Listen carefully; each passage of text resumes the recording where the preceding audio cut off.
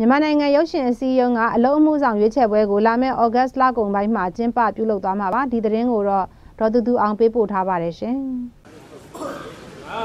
မြန်မာနိုင်ငံရုပ်ရှင်စီယုံမှာ၃နှစ်တစ်ကြိမ်ကျင်းပပြုလုပ်လေးရှိတဲ့အလုံးမှုဆောင်တဲ့ရွေးချယ်ပွဲကိုဦးစီးမဲ့ရွေးကောက်ပွဲကော်မရှင်အဖွဲ့ဖွဲ့ပြီးဖြစ်တာကြောင့်လာမယ့်ဩဂုတ်လကုန်ပိုင်းမှာရွေးချယ်ကျင်းပသွားမယ်လို့ပြောပါရယ်ရွေးကောက်ပွဲကော်မရှင်မှာအလားဆယ်လာကတလွာကို၄ဦးနှုတ်နဲ့ရွေးချယ်ဖွဲ့စည်းခဲ့တာဖြစ်ပြီးစုစုပေါင်းလူဦးရေ90ခန့်ပါဝင်ဖွဲ့စည်းထားပါတယ်။အော် ရွေးချယ်ရေးစက်ကုမ္ပဏီကအခုကတော့အလွှာဆယ်လွှာပေါ့။အလွှာဆယ်လွှာရဲ့ဒီစီးရုံးဝင်တွေကိုပြန်လဲစီစစ်နေတယ်။မစီစစ်တယ်ဆိုတဲ့အပိုင်းမှာချို့ဒီလည်းအဲသုံးသွားပြီပေါ့နော်။ဒီသုံးသွားတာရှိတယ်။ချို့ကြရတယ်ဒီလုပ်ငန်းမလုပ်တော့ခြားကြီးလုပ်ငန်းကြောင်းသွားတယ်။အဲ့ဒီဟာမျိုးတွေရှိတယ်။ဒီလိုဟာမျိုးတွေကျသူတို့ကပြန်ပြီးတော့စီစစ်ပေးရတယ်။တရားမျှတစွာနဲ့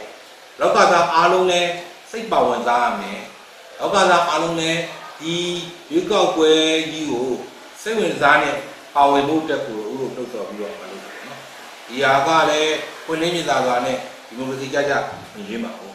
ရွေးကောက်ပွဲကော်မရှင်အနေနဲ့အလွာဆယ်လာကရုပ်ရှင်စီယုံဝင်တွေကိုပြန်လဲစီစစ်နေပါတယ်အမှုဆောင်လေးတွေကတော့ကျွန်တော်တို့ဟိုကျွန်တော်ရုပ်ရှင်မျိုးဦးစီးပူတော်နဲ့ပေါ့ရုပ်ကောက်ပွဲကော်မရှင်ဖွဲ့တယ်။ရုပ်ကောက်ပွဲကော်မရှင်ဆိုတော့နာဂရဲ့ဟိုတော်တော်9ယောက် တက်တော့4ယောက်ဆယ်လောတော့40နာဂရဲ့တော့50လောက်ရှိအဲ့ဒါဖွဲ့ပြီးဖွဲ့ပြီးတော့အဲ့ဒီကော်မရှင်ကပဲဒီရုပ်ကော်မကိစ္စကိုပြောတော့အဲ့တော့ဘယ်လိုလဲတော့တို့လုပ်နေတာဘယ်လိုလဲအဲ့ပုံပြကတ်တာလည်းရှိတယ်။ပုံပြကတ်တာလည်းဆိုတော့အဲ့ဒါတွေကဟိုစီယိုဝင်ထားတယ်ဒီတဲ့အဲ့ဒီဒီစေးကတ်တာသူတို့ဒီလိုဝင်ပြီးတော့မပါလေးနေဆိုရင်ပြောလို့ရအောင်ဒီကြည့်ရအဲ့တော့သူကတော့စီဝေးတစ်ချိန်လုပ်ပြီးတော့ကျန်တဲ့ဟာတွေကိုဆက်လို့ကော် မရှင်ကဆက်လို့မြန်မာနိုင်ငံရုပ်ရှင်စီယုံမှာအဓိကတရုပ်ဆောင်အခြေခံအလွှာဒါရိုက်တာအလွှာဇလန်းစညွန်အခြေခံအလွှာတီးဖြတ်မှတ်တမ်းအလွှာအုပ်ချုပ်ဖြန့်ချီပြသအခြေခံအလွှာ